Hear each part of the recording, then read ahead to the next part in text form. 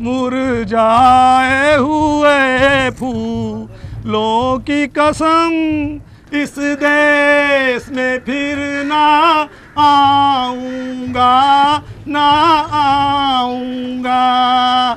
हाँ भाई तू किधर जा रहा है?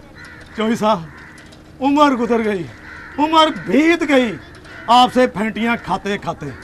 अब मुझमें आपसे फेंटी खाने की मजीद हिम्मत नहीं है इसलिए हैं, जा रहा था। चल चल छोखिया रख ही नीचे अपना धन धोपड़ा। मेरा मीटर ना घुमा। मैं पहले बड़ा परेशान हूँ।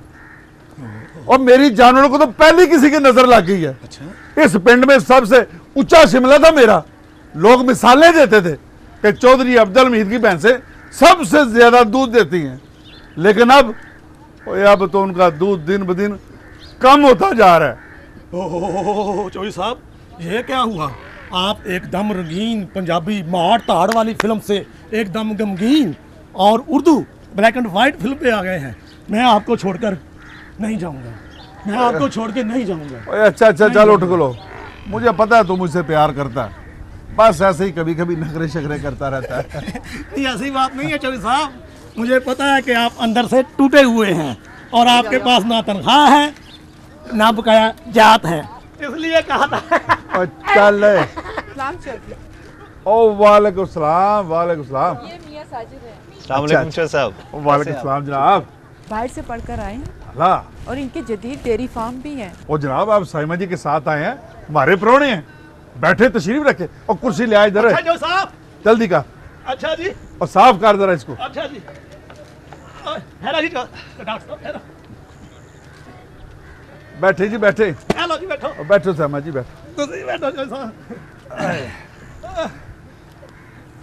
क्या बात है चौधरी आज बड़े परेशान लग रहे हो और ये हर वक्त फजलू से क्यों लड़ते रहते हैं और लड़ू क्यों ना साइमा जी अब आपको मैं क्या बताऊं मेरे जानवरों को तो किसी की नजर ही लग गई है उनका दूध तो दिन ब दिन कम ही होता जा रहा है और जो कमाई है सब उन्हीं के ऊपर लग रही है आपको तो पता है इस महँगाई के दौर में जानवर रखना कितना मुश्किल काम है। मुनाफा कम है और खर्च ज़्यादा है। एक मिनट जी आप मुझे ये बताएँगे कि आप अपने जानवरों की नस्ल बढ़ाने के लिए क्या करते हैं? और जनाब पिछले वक्तों में हमारे वालद बिश्ती ने एक अला नस्ल का सांड खरीदा था। बड़ा वखरा जानवर है। आप देखेंगे तो आपकी तबीयत खुश हो जाएगी। बस पिछले कई सालों से हम अफजाशी नस्ल के लिए उसी सांड से काम चला रहे हैं। क्या तुम्हें मालूम है कि बार बार बैल और भैंसे के मिलाप से उनकी नस्ल और दूध की मकदार में कमी होती है? अच्छा। मैं हमेशा अपने फार्म के लिए नया और ऐसा सांड का इस्तेमाल करता हूँ जिसकी माँ ज़्यादा दूध देती हो। इसी वजह से मेरे जानवरों का दूध हर नस्ल में बढ़ता रहता है। लेकिन जनाब ये हर साल नया सांड खरीदना ये बड़ा महँगा सा नुस्खा नहीं है। इसका भी हल है। वो है मसनू अफजाइश नस्ल। अपने जानवरों को ज़्यादा दूध देने वाली अच्छी नस्लों के बीज रखें।